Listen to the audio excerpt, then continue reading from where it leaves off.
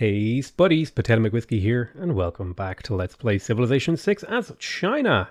I've been consistently spending all of my faith to get my religion re-established, but I think we're now in a position where I don't need to do that anymore, and I can start maybe thinking about purchasing some of these great people. I also need to start thinking about earning my uh, great works. I've kind of put that to the wayside, and it's time to start trading internationally. And what I usually do is I just organize this by gold, and then look for trade. So, for example, I want to trade with Hamar to improve my relationship with Norway, and I want to trade with Toronto to improve my relationship with Canada. I also want to bring my scout back to get a bit better idea of uh, Norway's empire so I can trade with higher value cities and get easier trade routes to them.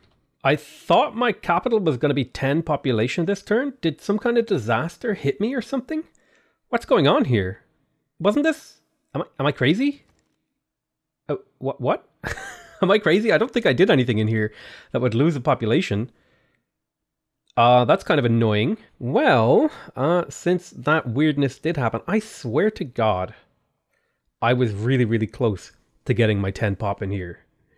Well, I've got six turns that I can kind of waste. I think I will go ahead and grab the university here because every great person point that I get in my capital city is going to be doubled thanks to Pingala. Oh, it might have been this river it might have been this river because, ah, oh, because I own this tile here. Oh, that screwed me. That's where the population died. Because this river flooded and damaged the city, it killed a pop in my capital. I'm so upset at that. That is devastating. The good news is we are generating a decent amount of tourism already from our wonders. And these will just continue to generate more and more tourism as the game goes on. Let's go ahead and finish the Oops, did I just remove that from the tree? Let's go ahead and finish the Temple of Artemis as well. That's going to give us a ton of housing gold, or, housing food and amenities in Changsha, which is brilliant.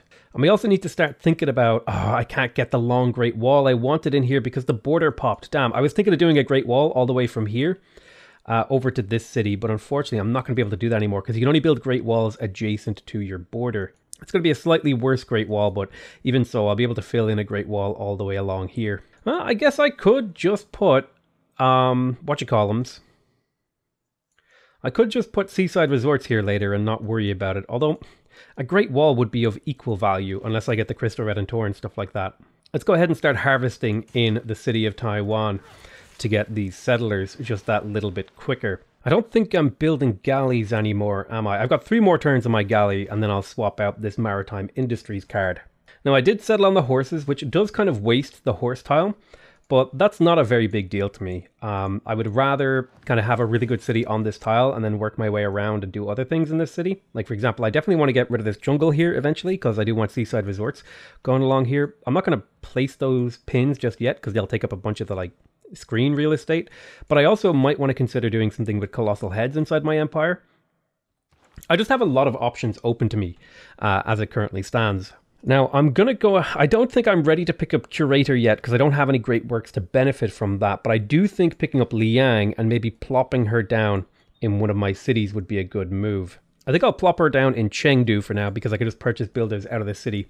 Kind of wish I had done an earlier play for this area of the map. Um, I might even move Liang here to give me some loyalty because I could I could definitely still go for the Petra and pyramids if I settle right here, plop a governor in this city, go for pyramids and then Petra with some builder purchasing. So I'm going to save my gold for that. I need to watch out. Norway is starting to send apostles over towards my empire to start converting me, which I do not like one bit. There's the holy site in Jiaodong. I'm not going to bother. Well, the shrine is actually really high value here. Eight turns of production for plus six faith. Seems like a really, really good investment, but I am going to want to get the harbor up in here relatively quickly. I'm actually devastated. I, I had a crash earlier and I had to uh, I had to reload and I forgot to replace my canal. And uh, oops, so this canal is going to be nearly 50% uh, more expensive than I had originally planned. It's still not the end of the world. I am going to want to get the uh, industrial zone in here, but I'm going to be working on the theater square once this galley is finished because it's about time. These are really, really late theater squares in all honesty. The good news is I can finally get to work on the theater square in Taiwan now that I've chopped out all the remaining settlers that I want. I'm, uh, maybe I'll go for more later on, but I think for now I'm done settling. And that means there'll be essentially one more city going down in here, and then that'll be about it. And I'll see if I can get the pyramids. I'm really, really hopeful that I can get the pyramids this game. The galley, second galley is complete in here. I'm going to send you on Auto Explore, and then we'll go ahead and get to work on the theater square. The city has really, really bad production, but we will figure out a way to sort that out, probably by unlocking mass production to get shipyards, and then plugging in the um, double harbor adjacency card. So I'm going to want to be using my gold almost, almost exclusively to get harbors this game. At least for the foreseeable future. Okay, Harald Hardrada converted my thing. I'm going to go ahead and vote yes, because if I complete this objective, I'll get a free relic. So I'm going to put two votes into that to pass that emergency, because it would be really nice to pick up those relics. Damn, the religious emergency failed because Kupe voted it down. I hate you, Kupe. Why would you do that to me? I should have put another vote into it. It's not the end of the world. We could also get to work at the Potala Palace, um, but I really need my theater square in my capital. And so we'll go ahead and get to work on that. We will put one more turn into the university, however. Actually, tempted to chop to finish the university this turn and get that theater square online because I need to fill up these great work slots ASAP. But yeah, man, I really wanted these aqueducts. I'm kind of having to like jump around the tech tree a little bit here. So, uh, yeah, I'll, I'll go ahead and get to work on aqueducts.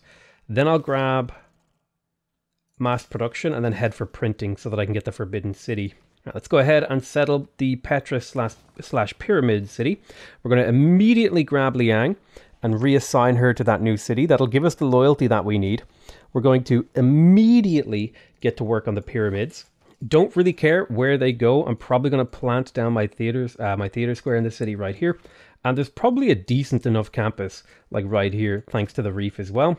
And then the city will also go ahead and grab itself a harbor later on. Not going to be the most amazing Petra slash pyramids of all time, but I think if I place both down, and go ahead and purchase myself another builder, we'll be able to get them in pretty record time here. Looks like I found an island that I could potentially settle if I check that out in the near future. We'll have to have a look there. I, oh no, I lost, no, I don't, I didn't lose Suzerainty La Venta. Why can't you move here? Hmm, interesting.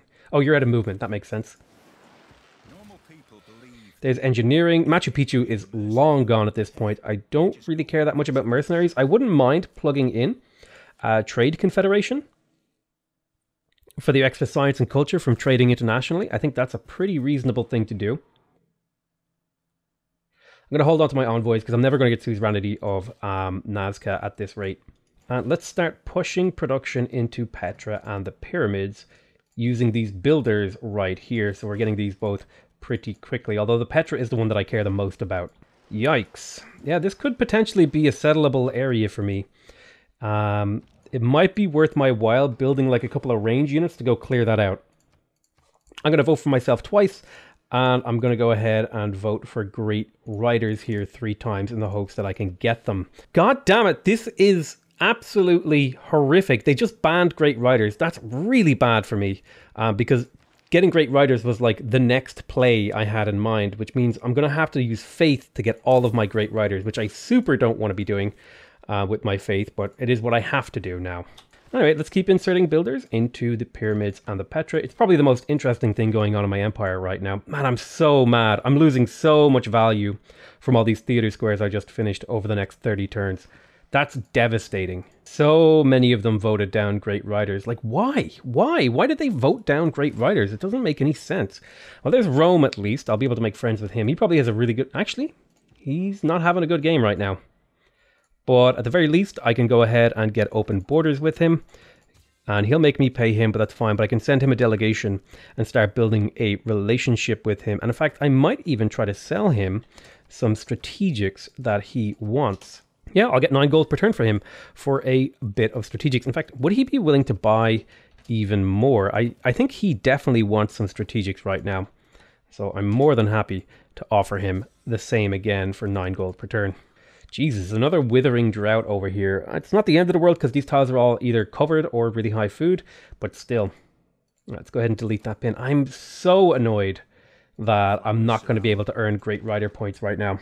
That's that's actually going to cripple me here. Uh, well, we'll just have to adapt and overcome. I'm actually thinking that the pyramids is more important because I'll get a free builder charge out of finishing the pyramid, so I might prioritize that over other over the Petra because then I can use the extra builder charges to finish the Petra. Well, let's go ahead and pick up mass production. About now is the time. I'm having to jump back and forth all over the tech tree. I really want ironworking to get a swordsman up because I could use a swordsman plus an archer to clear out this and maybe send a settler over there. And since my great works of writing generation has been crippled here, I think I will uh, just go ahead and start producing like an archer or two. And I'll even finish the archer I built in my capital and get this guy to head over to become a swordsman. There's ironworking, so we can do that now. Brilliant. We also completed an archer in the capital that we're sending over to hopefully clear out some of the barb camps over here. Man, it really doesn't make sense to go for the amphitheater now. Maybe I'm better off just going for something like the Hagia Sophia. Or the Hagia Sophia, sorry. It's worth plus 8 faith. I don't really care about it though. Maybe I would be better off going for the Potala Palace in one of my other locations like over here. 28 turns of production for a diplomatic policy slot. The diplomatic policy slots aren't terrible. It's a lot of production though. I guess if I'm blocked, I may as well just try to get as much faith as possible so I can buy more great writers. Um, that's my best best recourse, my best action of recourse or whatever. Are you kidding me? I just lost the pyramids. Oh, that is so painful. It's not the end of the world, but man, I wanted those pyramids, especially as China. Uh, well, you know, I was if I had settled this earlier, I think I could have got it absolutely no problem. But uh, it is what it is. Is a brilliant display. Is Petra beautiful? So that's going to be a useful thing to get. I might even fill this bit of land with like great walls. Trying to think like if I were to do a let me see one two three I could fill this entire row here like this entire extent of the city's furthest borders with um, great wall tiles and even loop around here to here and then continue the loop with this city all yeah i think that's what i'm going to do here. I'm going to settle this city and just start building a, a, kind of great wall along here and i might even might even spend a bit of gold to get that going i still need theater squares if i'm going to generate other types of great people uh, but I don't really have anything else to do with my gold, so I'm just going to purchase the monument and granary in here to get the city growing and producing a little bit faster. And I will actually go ahead and buy these two mine tiles because they are going to be extremely useful. Well, there's Yosemite, easily one of the strongest wonders in the game, and the Maori have, I think... Oh, no, it was actually Kabul that settled them.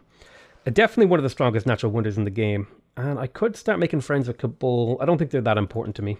Well, finishing the theatre square in here doesn't mean a whole lot to me. I was hoping to start working theatre square projects, but I got kind of, uh, I got kind of screwed on that one. I guess I'll work on the harbour and just start purchasing like a granary and a monument in here. The granary will let me grow a bit. Let's keep doing international trade routes. They're extremely valuable. 10 gold, 1 science, 1 culture is super helpful. There's exploration. Now, this is where I'm going to be changing up my government quite a bit. I'm going to be plugging in Merchant Republic. That's going to give me a 15% production boost towards districts. I'm going to be taking out the colonization card, plugging in Trade Confederation, I'm also going to be plugging in the limes card so I can start mass producing walls because I will eventually want that. Although I'm not really under pressure to get the walls up just yet. Definitely actually want to plug in the veterancy card so I can build harbors faster. And I'm going to want more gold as a priority. So anything that I can plug in that gives me gold is actually a huge benefit at this point in the game um, because I'm getting to the point now where I'm going to be purchasing my shipyard, so I need to save almost all my gold for that. So I guess there's not going to be a whole lot of tile purchasing for Great Walls. We're going to have to kind of wait that out and let it happen naturally. So let's have a look at our capital here. We have a massive food surplus. Well, I wouldn't say massive, but it's a pretty big food surplus. I don't think I'm going to stop working it until I get to 11 pop actually, because I'm pretty close. Nice thing is we do have a bit of jungle over here to quickly chop out this harbor. I'm going to plop a bunch of mines here as well and try to rely on the ocean tiles to get our growth here. Now, where do I want to put the theater square in this city? That's going to dictate exactly how we do things. Probably just going to plant it like right there. And maybe think about getting a Huey Teocalli if I can in this city. It's going to be a bit of a touch and go decision though because it's a fairly expensive wonder and the AI kind of likes it and it's only a one tile Huey but even so, it might be worth my while. I don't have a lot of lakes to benefit from it, but I just like having wonders for adjacency and stuff like that when I'm playing as China. I just I just find it more fun to do it that way. All right, brilliant. There is the theater square in Guangzhou. Not that it really matters because we're not really getting full value from it. I definitely want to get the monument before I get the harbor. Because that is going to give me a significant return on investment. I need another build charge down here too to improve this woods tile. So my capital is probably going to go back to builder duty here in a minute. There is shipyards. So that now that I have shipyards unlocked, it's going to be worth my while to swing over for naval tradition to pick up double harbor adjacency. And uh, I think Chengdu is going to be the first place that I get one. Um, it doesn't have the best harbor, but it has the worst production of like most of my cities. Now I am in a monumentality golden age, so rather than hard building my settlers over in Taiwan, I could actually cancel that, get this city to work on a harbor. Well, I'll get the granary first, then go for the harbor. And I could grab myself a monumentality golden age, or I could go for a ton of gold. I think I'm going to go for monumentality here because I just get a lot of benefit from builders and settlers and I'll sell. I'll I'll eventually send a settler out to head over here. But for now, I can do something like purchasing a builder um, over here in Shanghai just really efficiently, and then I'll grab one in Guangzhou because I just I just want one over here. Like trading with Hamilton to try to get a, a trading post that might let me eventually reach Arpinum. Although I will be settling a city up here, so that might be all I need to reach them. And uh, huh. let me see. Maybe Faith Generation is the right move for me. I could get the Hagia Sophia. I don't think that's worth it. I don't think that is worth it. I'm going to go ahead and pick up two scouts here, just to try to reveal a little bit more of the map. Um, I'm pretty close to picking up cartography, and that's actually going to severely increase my gold income from all the fishing tiles that I'm working. So I'm going to go ahead and pick up cartography and man, I really need to get scientific theory and I need to get siege tactics and I need to get printing. There's just, and I also need industrialization. There's so many techs right now that I'm feeling the pressure to pick up that I'm kind of having to make some very difficult decisions with my tech path. Okay, Rome actually wants to be friends with me. Now that's good news. So I can finally start building relationships with people. Let's go ahead and talk to Rome and say, hey, what's up, buddy? How do you feel about declaring a friendship? Now he hates the Maori, but that's fine by me. Let's just grab an economic alliance with him for now. Not really much we can do with that until we have cartography and can actually trade with him. I'll recruit this Galileo guy, but he's not really what I want from a great scientist. I would have to wait a long ass time to get another one though. I'm getting 12 great scientist points, by the way, from this one uh, campus I have. I'm trying to see if I can find a good mountain range. There's a good one, right? I can get three mountains in a single click. Beautiful. I don't have a whole lot of jungle tiles left in my empire, but Jiaodong might be worth building it. Um, the real problem is I want engineers to help me build it because this just takes way too long. I would have to funnel a ton of builder time into this city to get this in a reasonable amount of time. And then I would have to keep all this bad jungle. No, no, no, no, no. Change my mind. I'm not going to go for the Chichen Itza. Let's talk to Wilfrid. He tends to be fairly good about the price that he pays for Diplo favor. He would give me 28 gold per turn, which is pretty damn good for 50. He also might buy 15 horses off me, and he doesn't want chocolate. He might buy marble and silk, however, for a good price as well. Yeah, 12 gold per turn for all of those. I'm happy for that. Kupe kind of hates my guts, so I'm not going to bother trading with him. Norway is not a big fan of me, um, but they're a little upset that I have more great people, but they'll just have to get over that, I guess. I don't have anything I can really offer him except for chocolate. And he will give me 10 gold per turn for chocolates. That's pretty damn good. That's going to give me a significant boost to my income. Have another governor charge, and I think I want to pick up aquaculture on Liang. And now finally, well, let me have a look at the loyalty in here. What's the loyalty like? Yeah, the loyalty is fine in here. So let's reassign Liang over to Chengdu, and then we can start getting fisheries up in the city to make the city actually be super useful. Because right now the production is so bad in here that I'm not really achieving anything. Now, I was thinking of having the Great Wall go from this tile, but what's the point in having it go from here? I guess I could do forest there. Yeah, I guess I could do a forest here and then have a slightly better pair of seaside resorts. Let me put those pins down to remind myself that I'm going to be doing that because this is actually something where I could mess it up. Honestly, if you just take the time to do a little bit of planning, you can really achieve a lot in your games and not kind of block your own way. And I, it's something that I tend to like devalue a lot in my own games, but I really, really shouldn't. Um, it's honestly a mistake. But I do finally have enough gold now to come into Chengdu and go ahead and purchase the shipyard, and that'll bring the production up to six. Now, that's not too bad, but if I refresh that, now it's 11 thanks to the plus one production to these coastal tiles, which means we probably don't need Liang here anymore because I'm just going to be putting down fisheries. But if I can grow this into a really, really big city, I can work more and more tiles and generate a ton of gold and resources in here. So I think that's a pretty reasonable thing to do. But we basically tripled the, the production output of that city with that one single purchase, which is why it's so important to get your shipyards online, which is why I save almost all of my gold at this point of the game for shipyard purchasing. There's cartography giving us plus two gold from fishing boat improvements. It's a super good pickup tech. Um, it's going to generate you an insane amount of gold over the course of the end game. All right, we got the theater square in here. I want to get my theater squares online at the very least, because that does give me points towards great artists and musicians, even if I don't really have room for them just quite yet, and I'm getting kind of cock blocked on writers. Um, it'll be fine. I think it's about time we reassigned Magnus away from Taiwan as well, or Taiyuan. I don't know how to say that city's name. And we're going to move him over to Zhaoding uh, so that we can start harvesting some of this jungle. Because long term, this jungle is not really high value for us. We're going to want to get rid of it in favor of planting down woods and um, seaside resorts. There is the builder again in the capital. I think I'm going to send that up to Jiaodong to be ready for when Magnus reappears.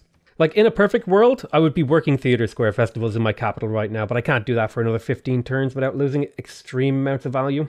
Ooh, Babylon would be a great city state to take suzerainty of. So I'm going to wait until I can flip my government to get double envoys in here. I might even promote Amani or grab Amani to be able to take control of them. That's how good they are. Time to faith purchase a settler, I reckon, to send off over here. Ooh, minus 20. Where did all this minus 20 come from? Earlier on, it wasn't nearly as bad. We'll have to see if we can explore around for a better spot. I think the loyalty situation changed over there. Should have checked that first. Oh, come on, get out of the way. Let me put my scientist there, please. Okay, that's better.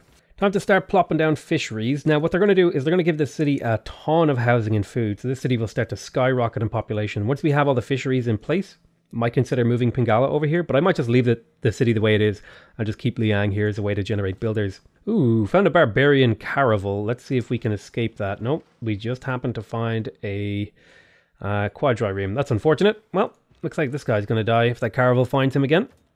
Again, mutual open borders. Beautiful. Wonderful. In fact, I'm curious, how we actually have three tourists already, and we haven't even really started generating uh, tourism just yet.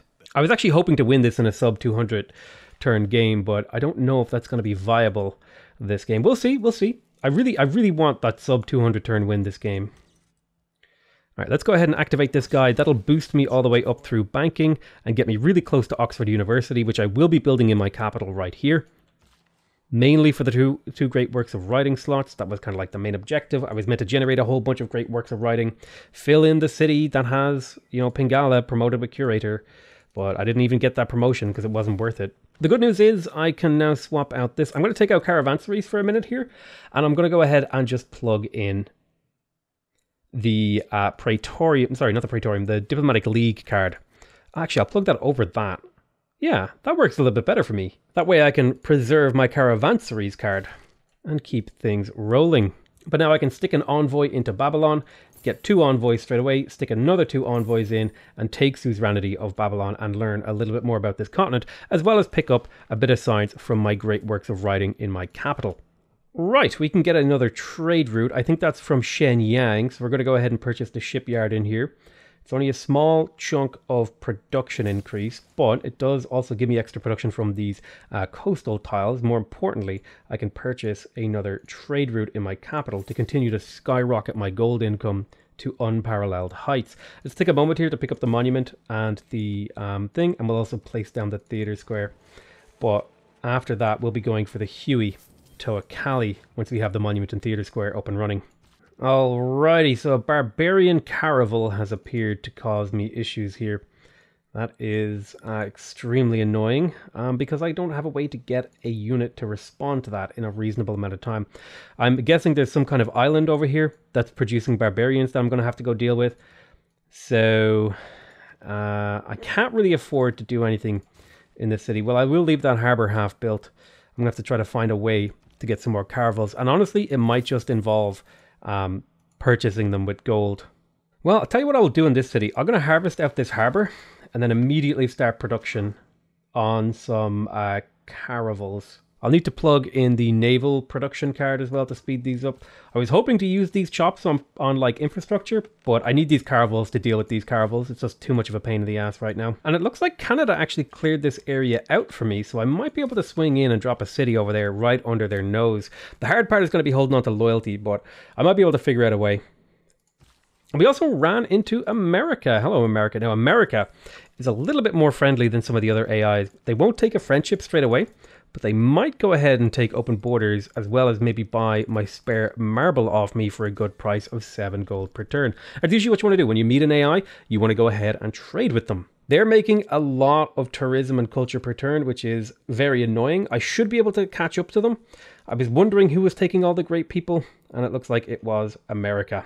America took a great writer, another great writer, another great writer. So they took all the early great writers, which is a little bit upsetting, but you know, well, I can't really do much about it. All right, I think this Merchant Confederation card has outlived its usefulness now that I have the Naval Infrastructure card, and I think Diplomatic League. Well, do I want influence or do I want gold? I think I want gold more than influence right now. Yeah, that seems reasonable to me.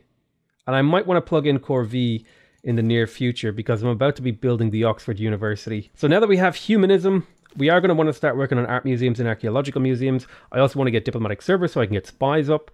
And I also need to get in this city my um, intelligence agency. So that's probably going to be right after the harbor, and I'll have to purchase upgrade that harbor. Hold on to my envoys for now. That seems like a reasonable thing to do. Let's keep harvesting these less useful tiles so that we can get this caravel complete to start dealing with these barbs. And I'll also grab myself a quadrireme here pretty quick. Bit of a waste to do all that chopping for that, but eh, what else could I do with it? There's Oxford University completed, happy days, or sorry, unlocked rather, not completed. We can start the construction of Oxford University right here. I will I will actually go ahead and finish that builder to give me a bit of time to get the diplomatic service and plug in the Corvée card so we can build wonders faster. Although I do need to go ahead and pick up uh, Gothic architecture first um, so that I can actually get that wonder construction card. With scientific theory, I think it's about time we swung back now to pick up castles and siege tactics. That's going to give me culture from the um, Great Wall and also allow me to start building walls for my tourism push that's coming up very soon. Also about time that we got our hands on the industrial zone of the city. We've heavily delayed it and we're now getting to the point where we're going to have no choice but to go for industrialization. So I need this industrial zone finished so I can get a factory to start powering all my cities. There's probably going to be another industrial zone all the way over here.